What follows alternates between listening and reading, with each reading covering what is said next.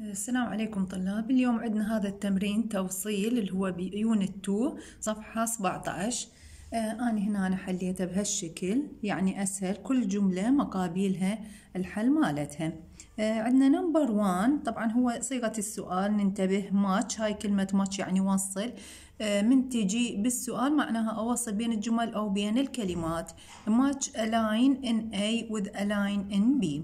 Uh, number one he's been stung all over his body. يعني هو قد تم لسعه بجميع أنحاء جسمه.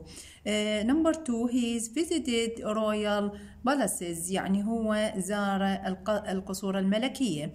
طبعا ننتبه هنا he's هاي مختصر لل he لل has.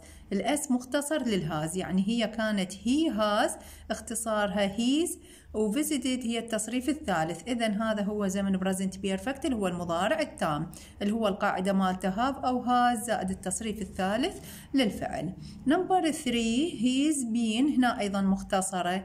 شلون عرفتها مختصرة؟ هاي بعدها been وبعدها الفعل ing إذا هذا زمن present perfect continuous اللي هو المضارع التام المستمر.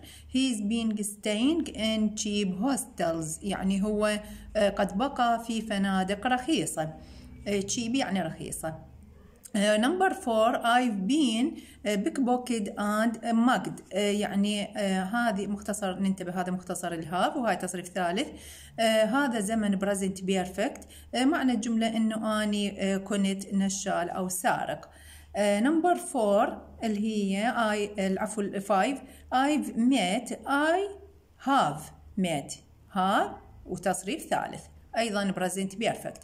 Uh, I've met a lot of really great people. يعني أنا قابلت الكثير من الناس الجيدين. Number 6 أيضا مختصرة. He has. He's been هذا تصريف ثالث. He's been to Vietnam and Japan. يعني هو قد uh, هو قد كان في اليابان الفيتنام واليابان.